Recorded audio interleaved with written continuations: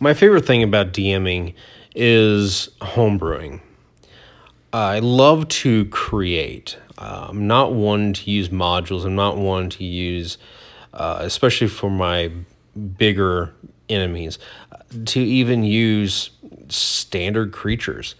So the only problem that you really run into whenever you're creating creatures is that sometimes you don't have miniatures for them, which is what you see me doing here is I'm creating a miniature for a parasitic ancient black ooze that my players are going to have to run across within the next few sessions.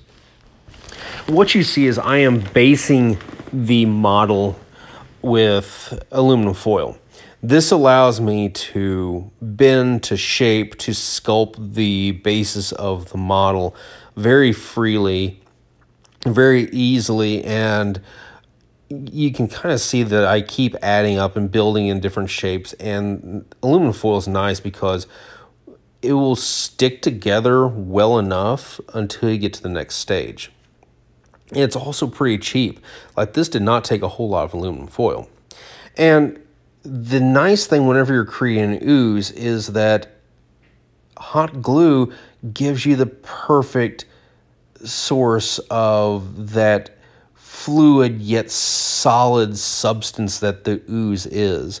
Um, you can make drips, you can make rolls, and the only issue that you run into is what you see me dealing with here is all the little hairs and those little strings that you get from the glue. So you have to make sure those are cleaned up.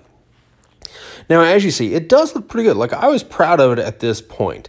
Um, it needs some little extra details, um, but also at the same time, I'm going to apologize. This is my first how-to video I've done in a while, um, and I've kind of forgotten that if I'm going to do a how-to, I have to keep everything in frame. Um, but what you see I'm, I'm doing here is I'm adding a little bit of extra hot glue to kind of bulk up some of the, the more prominent strings of ooze and the dripping type details.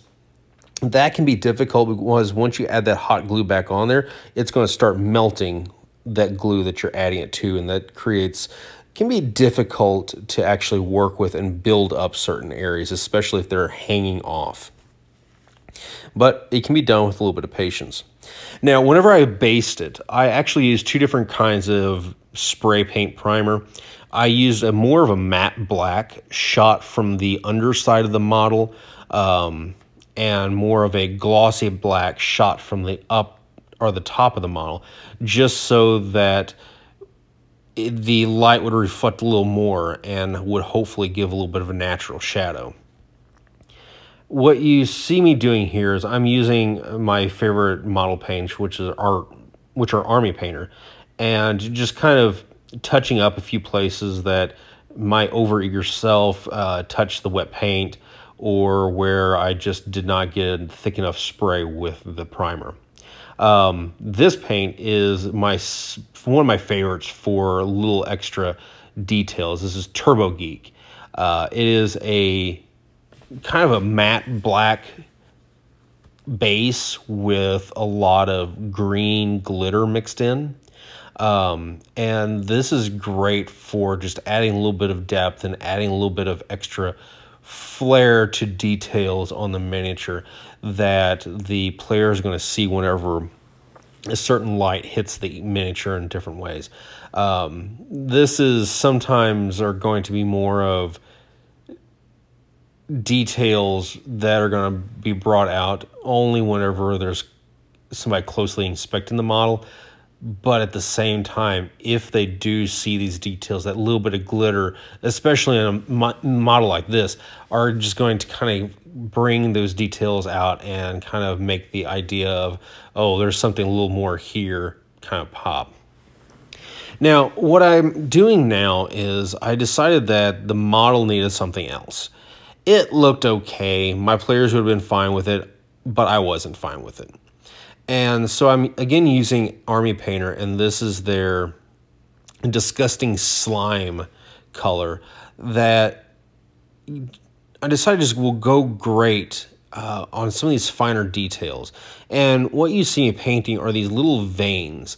And they just so happened to be the little strings that were left over that I didn't clean off from the hot glue.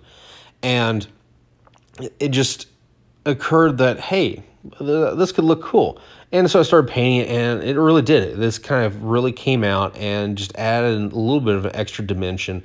Um, and instead of the whole model being black with a little bit of glitter hidden in areas, um, this kind of gives it that little bit of an extra pop. And the nice thing about it is, since I homebrewed the whole creature, I can come up with a reason why these, these green veins are even here. Um, so to give a little bit of background on this creature, it's it's been in this paradise type nature setting for hundreds of years, and it's essentially been sucking the life out of everything because that's how it expands. Um, it is very much set on its main goal of expanding and growth and uh, well if you kind of might have picked up on one of my inspirations which was Marvel symbiotes. Um, but instead, this ooze has a very parasitic type relationship with its surroundings. Um, and the odd thing is, there's also, which my players don't know, there's also a little bit of necrotic properties. Um, that whenever the ooze wants to, it can actually expand into corpse of even long dead creatures and reanimate them. Um, so it does have a little bit of a surprise for my players going in. So it's kind of part of the background of a little bit of necrotic, a little bit of acid damage. And as you see here, here's kind of what I've left the model as is its finished product.